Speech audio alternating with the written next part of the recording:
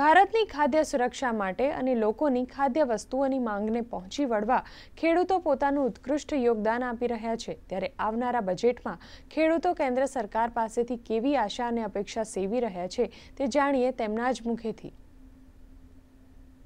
બજેટમાં સરકાર nano urea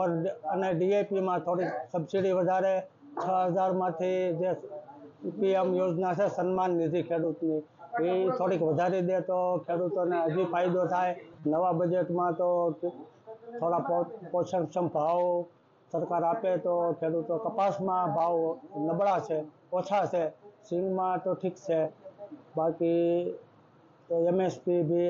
દરેક કરી રિસર્ચ કર્યો ખેડૂતોને મે ગવર્નમેન્ટ અપની જો સ્કીમે હે પોસ્ટ સ્ટેટ ગવર્નમેન્ટ હો કે તો કેન્દ્ર સરકાર કી સ્કીમ જો હે વો એગ્રી બિઝનેસ સેન્ટર يا તો अलग अलग जगह से इम्प्लीमेंट हो रही है उसकी जगह पे उसका डिस्ट्रीब्यूशन हो थ्रू एफ पी ओ हो गए तो एफ पी ओ को भी फायदा मिलेगा फार्मर को भी फायदा मिलेगा ज़्यादा से ज़्यादा फार्मर उसमें जुड़ेंगे बियारण खेडूत को अच्छा मिलना चाहिए खातरीबंद मिलना चाहिए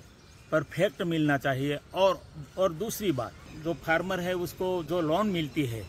वो सपोज मान लो कि ढाई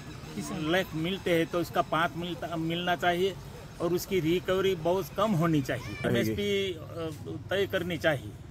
सभी ये फसलें होती है कि, किसानों की